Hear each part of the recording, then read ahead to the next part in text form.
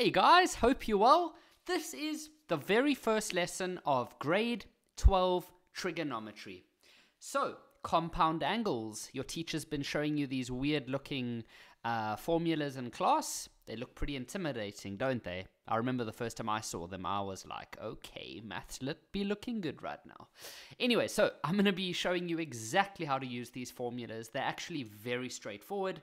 They're always going to give them to you in your um, tests and exams. So you just need to know how to use them, okay?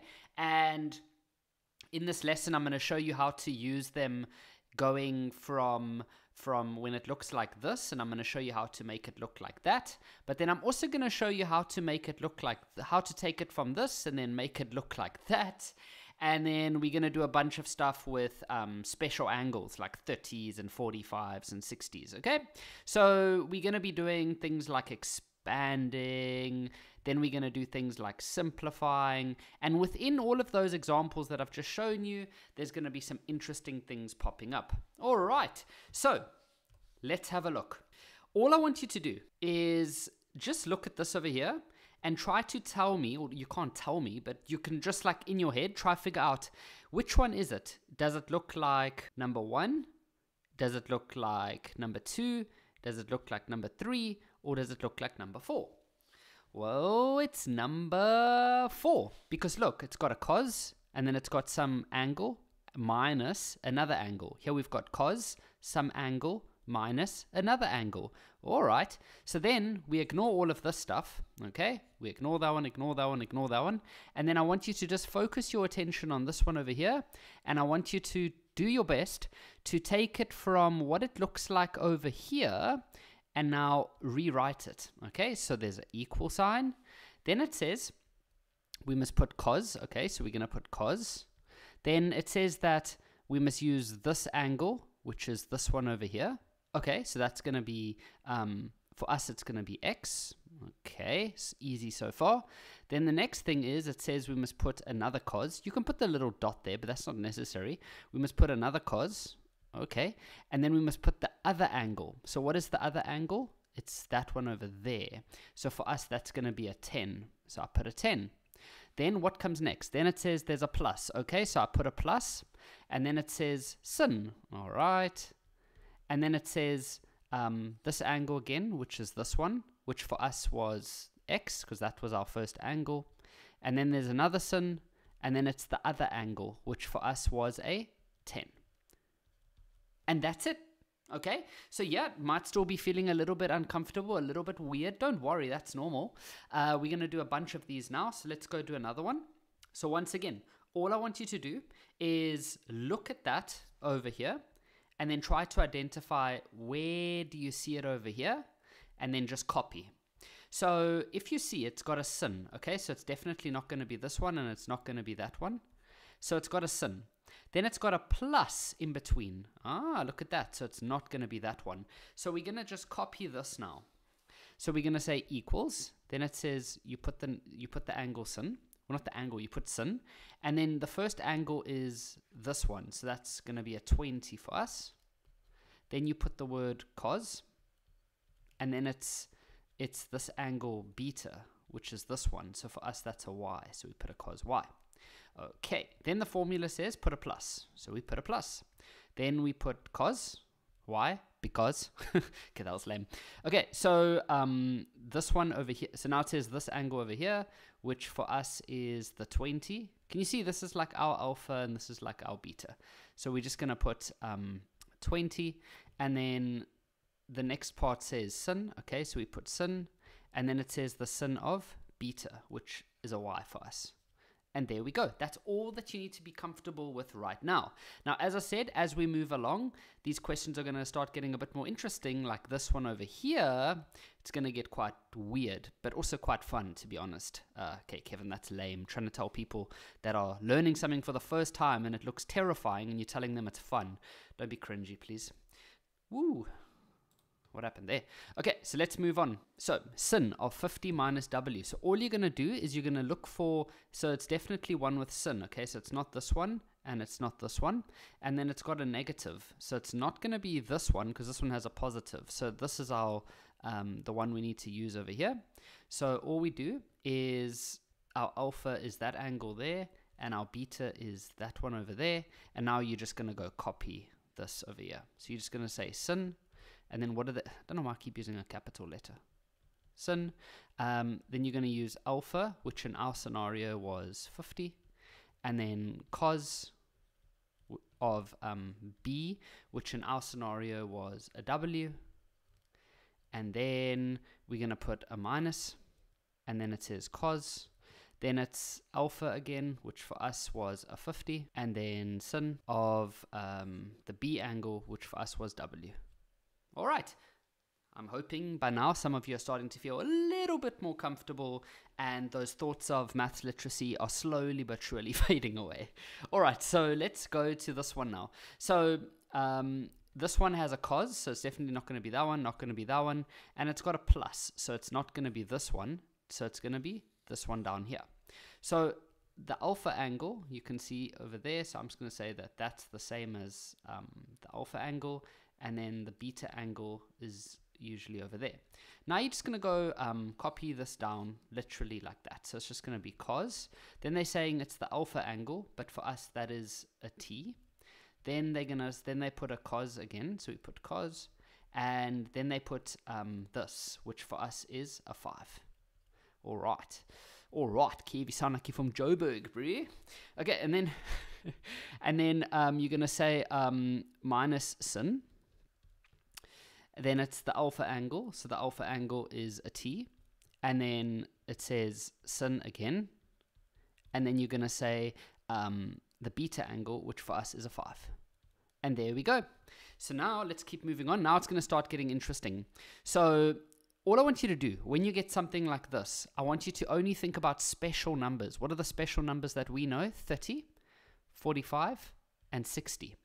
All I want you to do is can you make this number using these numbers? Now, Kevin, what are you talking about, dude? Are you okay? Well, what I mean is the following I want you to take the number 75 and break it up into any of those numbers. So, for example, I could say 45 plus 30. Why? Because that does give me 75. Ah, now all of a sudden, what I can do is realize that I've got this one over here. Can we agree? It's a cos and it's got a plus. So here's a cos with a plus. So now what I can do is I can go and expand it into this. So remember that this is alpha, this is beta. So here's our alpha and here's our beta. So now I'm just going to go expand it. So it, it starts off with um, cos over here. So cos. Then it's the alpha angle, which for us is a 45. Then it's cos again. And then it's the beta angle. So for us, that is 30 degrees. So we just do that. Then we're going to say minus sin. Now alpha angle again, which is 45 sin again, and then the beta angle, which for us is 30. Now, we know that each of these from um, those are special those are special numbers now back in the day um, they used to be very so when i started teaching and all of that they were quite strict with this thing of special triangles. Some of your teachers maybe still use special triangles. However um, and you must just check what your teacher prefers but what I've started noticing on the official memos for like your matric exams now is that they don't require special angles anymore. What they want you to now do, what it looks like you can do, is you can just go type cos 45 on your calculator. So you just go type cos 45 on the calculator. So I'm going to do that quickly. And that's going to give us square root 2 over 2. Okay. Then go type in cos 30 on your calculator. So what is cos 30? Just type it in on your calculator quickly, and that'll give you square root 3 over 2. And then, so as long as you just do each one individually, don't, what you don't want to do is don't go write this whole expression on your calculator. They're not going to give you marks for that. Go do each one by itself. Okay, so what is sin 45? That'll give you square root 2 over 2. If you're using special triangles, it will your this will look different. For that, I think you would actually get 1 over square root 2. But mathematically, these two things are actually the same. So some of you are just going to be using the calculator, which I think most of you are going to be doing. And then some of you are going to be using special triangles. And the answers are going to look, or this part here is going to look different, but mathematically it's still the same. Okay. And Um, so now what you do is you're just going to go handle this part here. So mathematically, you multiply top and top together, to, not together, together. Luckily, I don't teach English. And so we multiply these two together, and that's going to give us square root of 6. Then you multiply these two together, and that's going to give you 4. Then you're going to multiply these two together, that'll be square root 2. Then you're going to multiply these two together, and that'll give you 4. Now, because these two have the same denominator, you don't cancel them. We're not busy with an equation. You can just say that the answer will be over 4. It's almost like saying 1 over 3 plus, or no, let's rather say 1 over 6 plus 3 over 6. What does that become? 4 over 6. So you just keep it like that. So what is this going to be? Well, don't say square root 4. Um, it's just going to literally be square root 6 minus square root 2. You can't really simplify that, and so there's your answer. And what's really cool is you can go type this on your calculator, and you'll see that your calculator is literally going to give you that. Awesome. So let's move on. Okay, so here's another one. So when they just give you the single little angle over here, now this one's pretty cool. The reason is I said that you must only use these. Now this one you could say 60 minus 45, but some of you are like, Kevin, you could also say 45 minus 30. Yes, you can. So which one should you choose? Well, you have to take, there's a special coin that they're going to give you in grade 12. Um, it's called a special angle coin. It's, it's literally a five rand that your teacher just puts like a little Tipp-Ex dot on it. And what that does is um, the Tipp-Ex just allows the coin to flip nicely.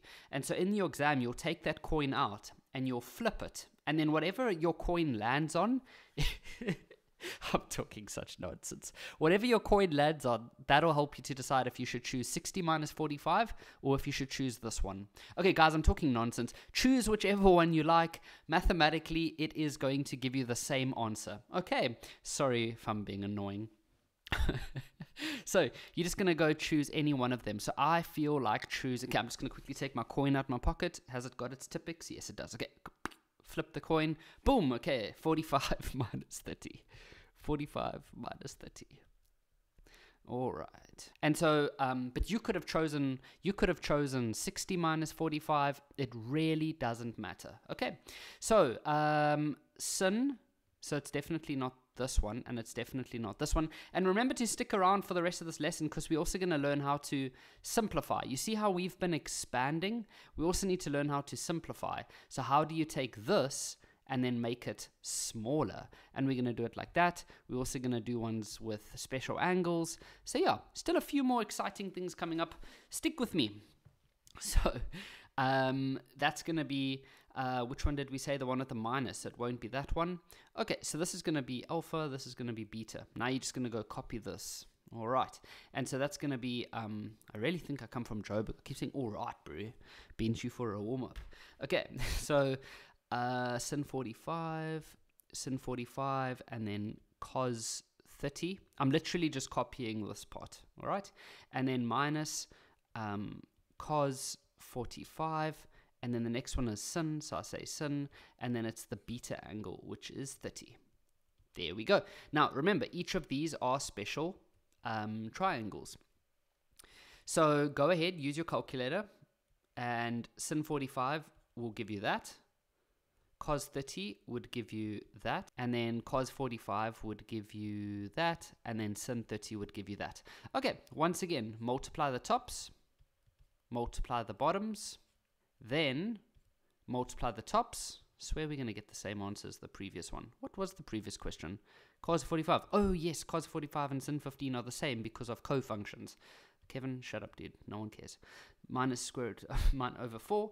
And then you're going to end up with um, just a 4 at the bottom, and then square root 6 minus square root 2. When I said the whole co-functions thing, some of you are like, nerd. okay, so there's the answer for that one. Let's move on. Now we're going to start learning how to um, simplify. So now I'm giving you this part, or this part, or this part, or this part. Whereas the first part, I was giving you, in the first examples, I was giving you that. See the difference? Okay, so we've definitely got a cos cos, so it cannot be this one, and it cannot be that one. We need one that has a cos cos. So he has a cos cos, and he has a cos cos. All right. Then there's a plus. Okay. So we want the one that has a plus. Or there's the plus. Now, don't get confused. Don't say, yeah, but Kevin, there's the plus. No. Look here. We're looking for the plus over there in between them. So it's not, so it's not going to be this one because this one has a minus over there. So we're not going to use u. Um, we're going to use this one. So we're going to take this and we're going to convert it back to there. So it says that the answer is going to be a cos. You see there's a cos here. Then it says I must open a bracket, okay? And then it says that I should take um, this first angle. So I'll just take that angle there, which in our situation was an 80. And then it says that I must put a minus now. Okay, so I'll put a minus now. And then I must take a um, the next angle, which was this one over here. And so that's a W. Done. Okay, not too bad. We're just doing it the other way around. Now, let's try this one. So it's got a cos cos again. Okay, so it won't be that one and it won't be that one.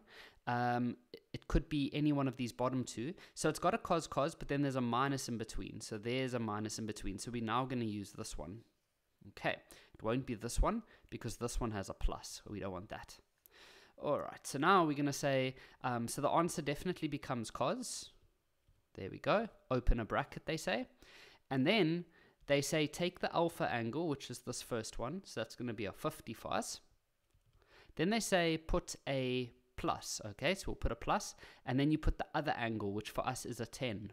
And look at this. This will give you, what is 50 plus 10? Um, just quickly whip out the calculator. 50 plus 10 Ah, my calculator says it's running out of memory. It can't hold that many values. Uh, 50 plus 10, guys. Oh, I'm just joking. 60, hey. Okay, so 60. Um, and then, cos 60 is a special angle. Go ahead, type it on the calculator, and it'll give you a half. Let's move on. Let's keep practicing these. We've still got another two more. This one and this one. Okay, so this one has a sin and a cos. Okay, so it can't be this one because the only one, and, and it can't be this one because this one has a cos cos. But we're looking for a sin cos. So here we see a sin cos.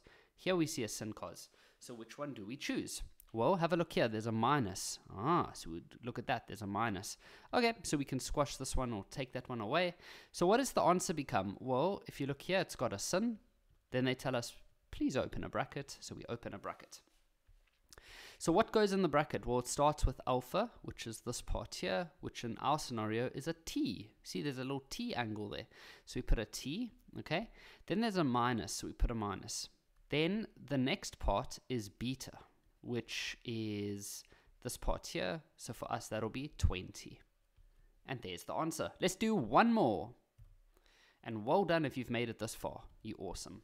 Okay, so here we have a sin cos, Okay, so that means it won't be this one and it won't be this one. And then it's got a plus in the middle. Here we've got a plus in the middle, so it won't be this one. Okay, so it's going to become sin. And then it says that, see, because we have this, right? We have that.